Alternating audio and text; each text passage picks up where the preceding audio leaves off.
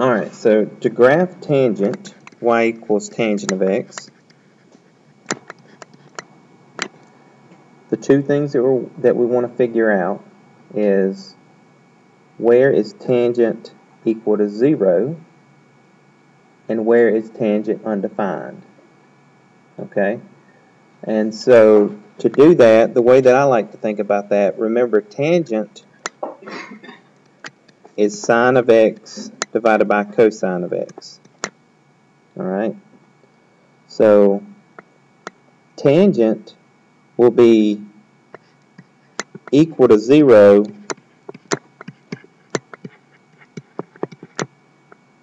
when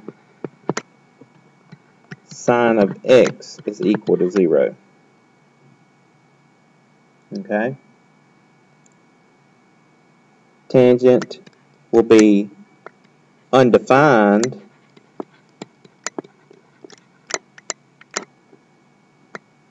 when cosine of x equals 0 because you can't divide by 0.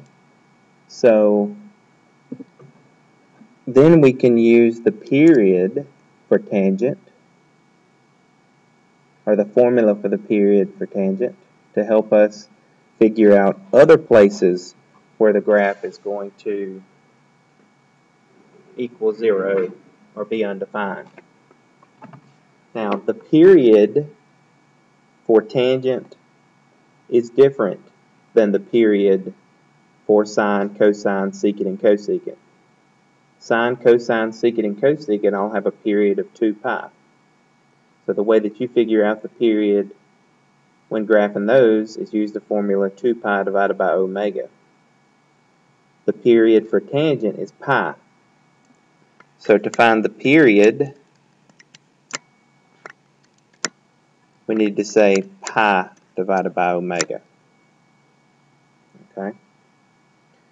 Now, of course, the period for y equals tangent of x would be, that's a 1, that's just pi divided by 1, so the period is pi we use that and places where we figure out, we just need to figure out one place where sine is equal to 0, sine of x is equal to 0, and one place where cosine of x is equal to 0. So recall the sine curve.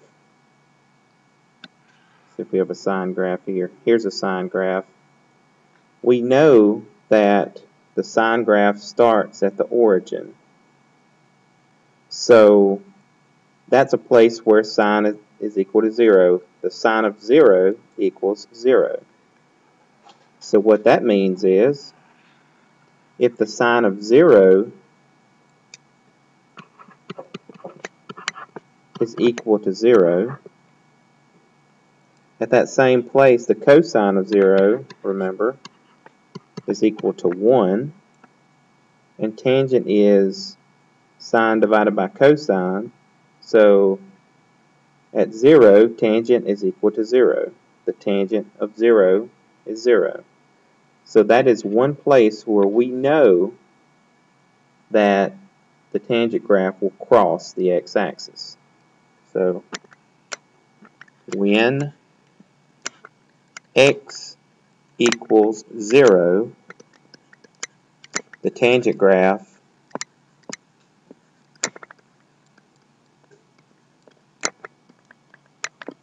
crosses the x-axis.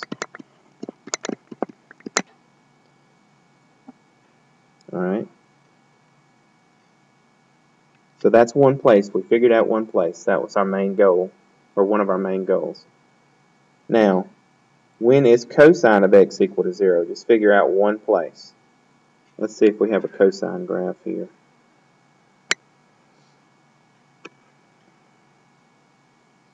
Alright, here's a cosine graph. Think about where does it cross the x-axis? Well, usually it crosses the x-axis the first time, if we're just looking at y equals cosine of x, it crosses the x-axis at pi over 2 because the cosine of pi over 2 is 0, right? Cosine of pi over 2 is 0. The sine of pi over 2 is 1, so that's 1 divided by 0. So that's a place where tangent will be undefined. The tangent of pi over 2 is undefined. So when x equals pi over 2, tangent is undefined. So we can use that value to help us figure out other places. Now the way that we figure out other places is we take the period, which for just y equals tangent of x, the period, we said it's pi divided by 1 or just pi. So now if we know one place where we cross, add pi to that or subtract pi from that as many times as you want, it's going to cross at every one of those places. So, and the same thing for where we have a vertical asymptote where tangent's undefined. If we know one place, then we add or subtract pi from that as many times as we want, and that's going to be other places where we will have vertical asymptotes. Let me show you. So if I just want to graph y equals tangent of x, we can draw several periods pretty fast. The key is knowing where do we cross and where are we undefined, one time for each. So we're going to cross, we said, when x equals 0, the tangent graph crosses the x-axis. So that's at 0. I can add or subtract the period from that as many times as I want to get other places. So if I add pi, that'd be 1 pi. Add pi again, 2 pi. It's going to cross there, it's going to cross there. Okay, I can go in the other direction. I could subtract pi. That'd be at negative pi. It's going to cross there. I subtract pi again. That'd be negative 2 pi. So it's going to cross there. Now, we said that at pi over 2, tangent's undefined. Pi over 2 is between 0 and pi. Alright, so let's say it's right here. We're going to have a vertical asymptote at pi over 2 because that's where it's undefined. Alright, now if you add pi to that, pi plus pi over 2 is 3 pi over 2. So another place where tangent's undefined. You could subtract pi from pi over 2. You get negative pi over 2. That's a place where we're going to have a vertical asymptote. Subtract pi from that again, you get negative 3 pi over 2. So that's another place where I'm going to have a vertical asymptote. Alright. Now, Another thing to remember about the tangent graph, if you figure out all the places where the graph is going to cross the x-axis, um, between places where the tangent graph is going to cross, there's always a vertical asymptote right in the middle. Alright, so you could use that to help you graph it as well. Now, so how do I graph it? Well, the domain for tangent is all real numbers. So the way that we show that, remember like what was the tangent of pi over 6 or pi over 4 or pi over 3. Even if you don't remember those values, you know that they're all positive. So the graph goes up and to the right at the origin and down and to the left. And it's going to do that every place that it crosses. Up and to the right, down to the left, up and to the right, down to the left, up and to the right, down to the left, up and to the right, down to the left. So we have five complete periods here. Alright, let's see what that looks like in a graphing utility.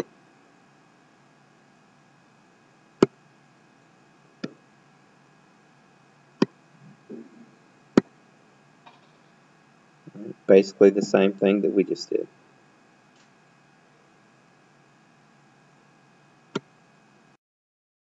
Take a look at the graph of y equals 2 tangent of 1 half x. So the first thing that we can do really quick is we can figure out the amplitude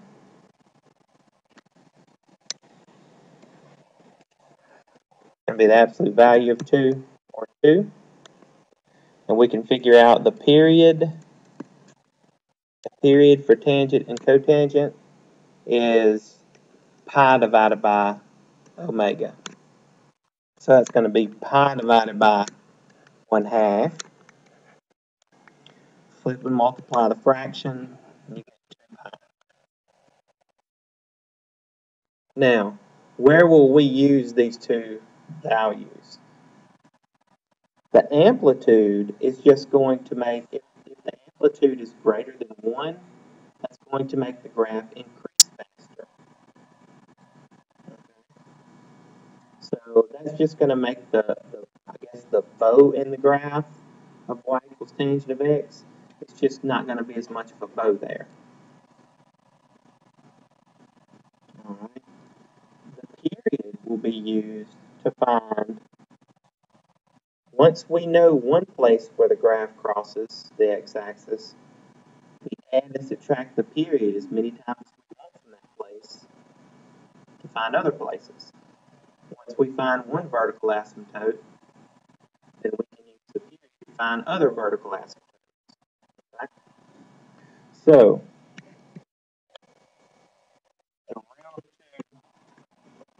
problems here is to figure out where's the graph going to cross and where's the graph going to be undefined.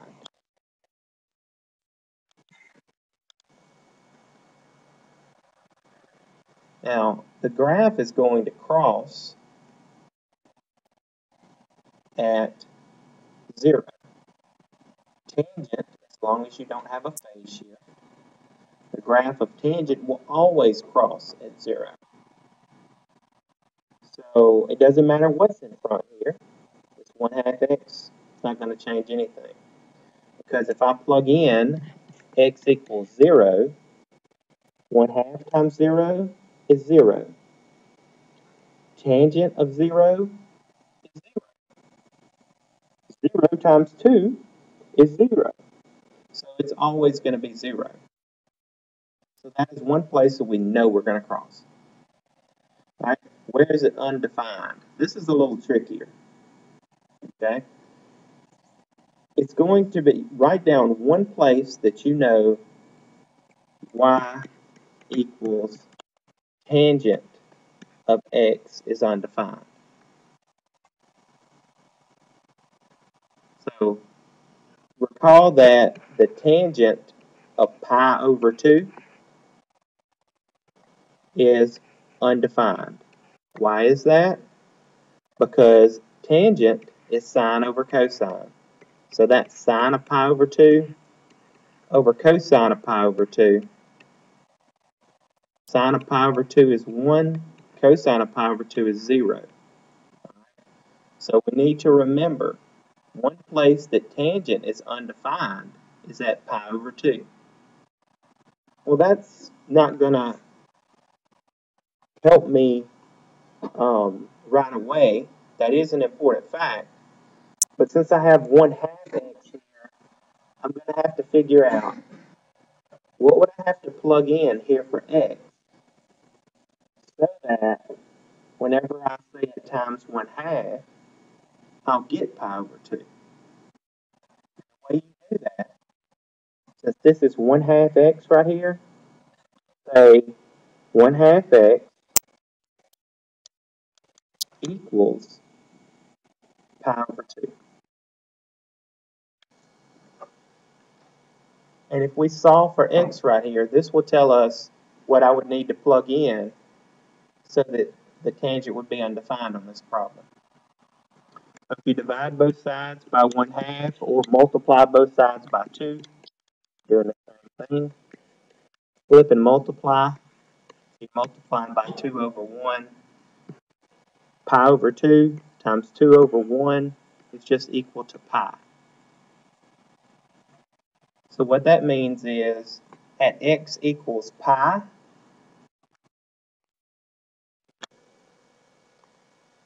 this function that I have, this y equals 2 tangent 1 half x, will be undefined.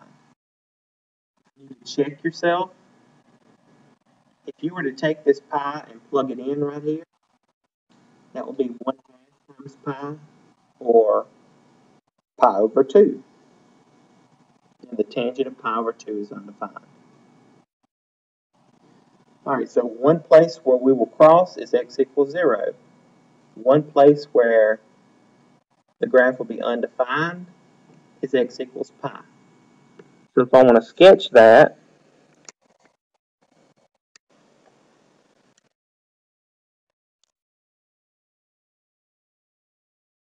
I'm going to put a place where I would cross. So we're going to cross at x equals 0. So I'm going to put a point here.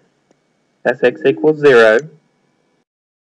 Now, if I use the period 2 pi, I can find another place where this is going to cross. 0 plus 2 pi would be 2 pi. Mark out a space right here name 2 pi. And you could find another place if you want. You could add 2 pi again. That would be 4 pi.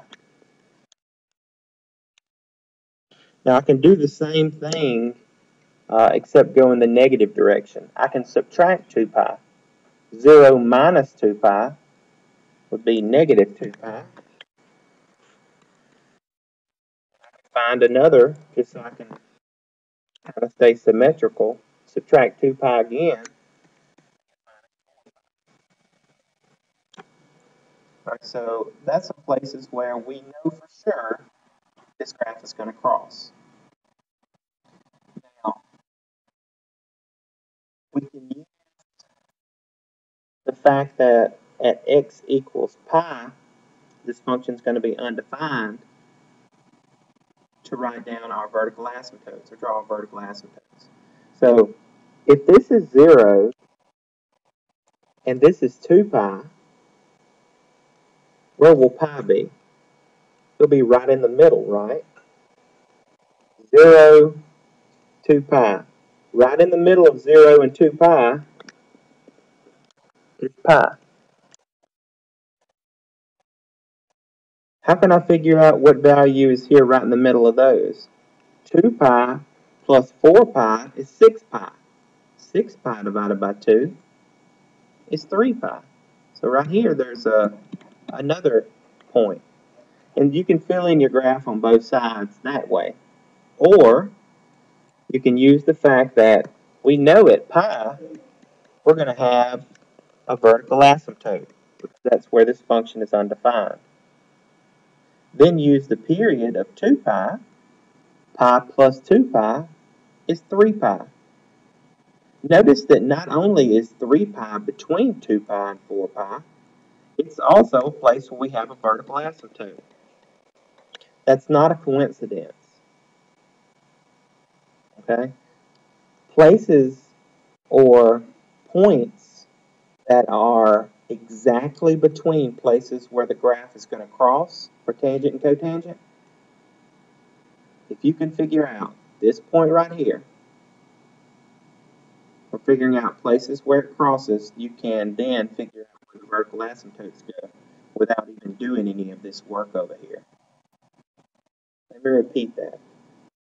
If you just write down all the places where this graph is going to cross using the fact that the tangent of 0 is always going to be 0 and use the period, then we can find other places by taking any two consecutive points, adding them together, and dividing by 2 that will always give you a place where you're going to have a vertical asymptote.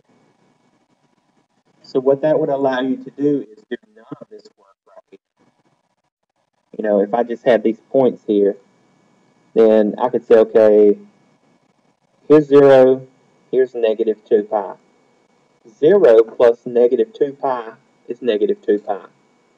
Divide that by 2, that's negative 1 pi. So right here at negative 1 pi, you're going to have a vertical asymptote.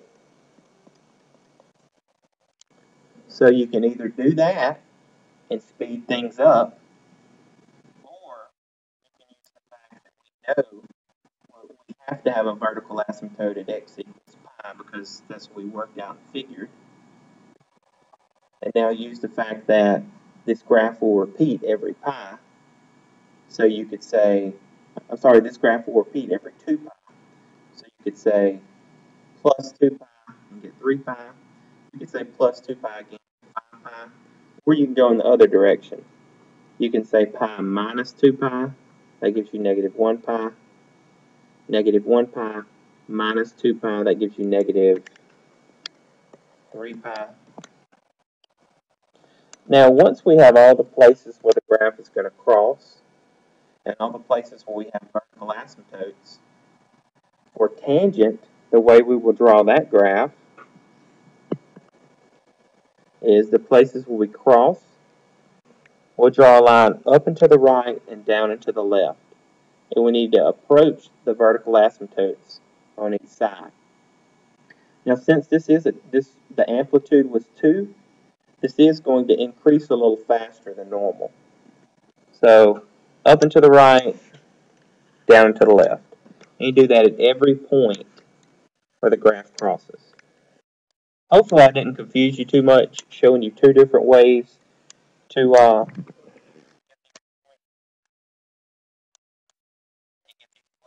where the graph has vertical asymptotes. Let me just refresh or, or uh, let me just review one more time what we did. The fastest way to graph this is to find the amplitude and the period, then use the fact that this graph, we know since it's tangent, at zero will cross. So if we put a point at, at zero, we know the graph has a cross there. Now, the period is 2 pi. So if I say 0 plus 2 pi, that gives me another place where this graph crosses. You can add 2 pi again, add 2 pi again, or you could subtract 2 pi, subtract 2 pi, subtract 2 pi. All of those places, this graph, y equals 2 tangent 1 half x, is guaranteed to cross the x-axis. Because that's places where function would be equal to zero. Now, you can go through and do all this work finding one place where it's undefined and use the period to find other places. Or any two consecutive places where you know tangent across. if you add those two x values together and divide by 2, that will give you the point in you can figure out the point between two places where you know the graph crosses, you guarantee to have a vertical asymptote. That's the quickest way.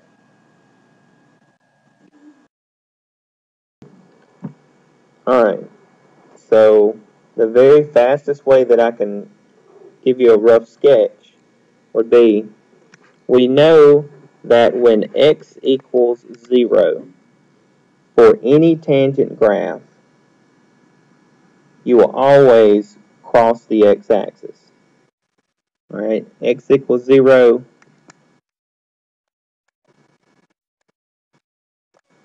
Cross the x-axis. Now, the amplitude here is going to be 1. The period here pi divided by omega or pi divided by what's in front of x, pi. So your period here is going to be 1. So we will not have a pi with our period. That's just going to change our scale on the x axis. Instead of having pi here on the x-axis, we're just going to have our whole number integers, like 1, 2, 3, 4, so on and so forth.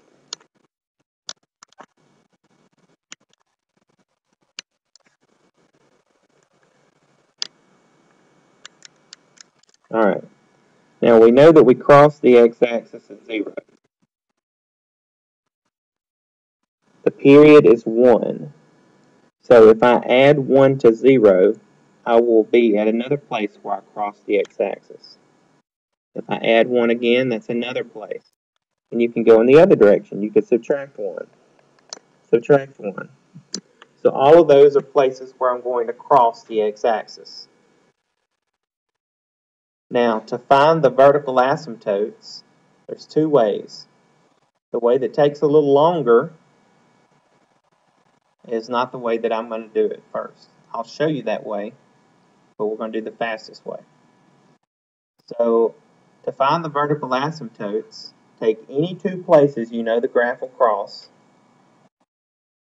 add those two x values together, and divide by 2.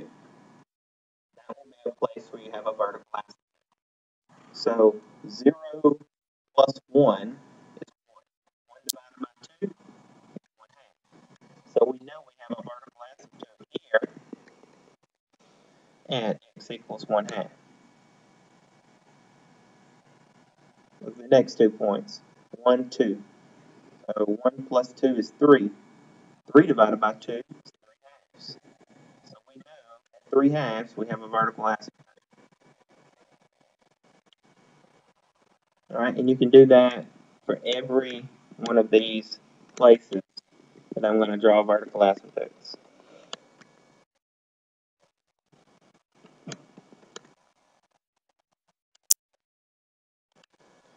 Now to graph this, there was a negative in front, so every place that we cross, we need to go up and to the left